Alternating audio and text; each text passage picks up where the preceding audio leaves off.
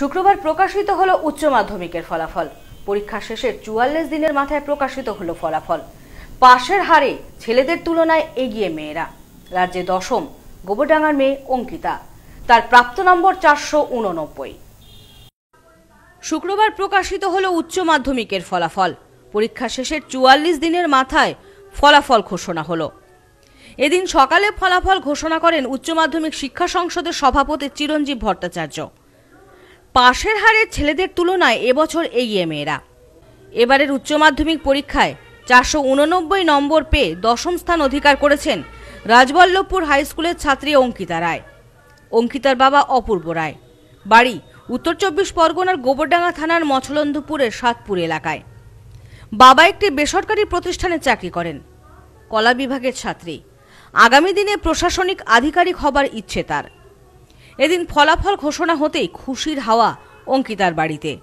অঙ্কিতা জানান, দিনে নিয়ম করে সেরকমভাবে পড়াশুনো করতেন না। যখন ইচ্ছে হতো, তখনই পড়তে বসতেন। এবারের উচ্চ মাধ্যমিক পরীক্ষায় প্রথম হয়েছেন কোচবিহারের দিনহাটার ছাত্রী অদিশা দেব শর্মা। দ্বিতীয় হয়েছেন পশ্চিম মেদিনীপুরের সায়নদীপ সামন্ত। তৃতীয় হয়েছেন মোট চারজন। এবছর সাত লক্ষ কুড়ি হাজার আটশো পঁয়ষট্টি জন পরীক্ষার্থী ছিলেন। যার মধ্যে পাশ করেছেন ছ লক্ষ ছত্রিশ হাজার আটশো পঁচাত্তর জন।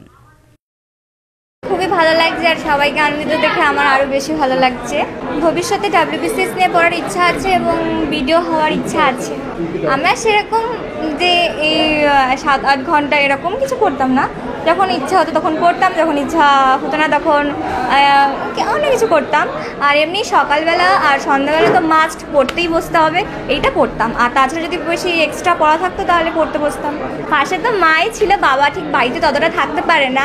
বাবা একটা অফিসে চাকরি করে, তো মা থাকে আর মাই সবসময় বলতো যে, পড়তে বস পড়তে বস পড়তে বস। Bureau report, news no man's land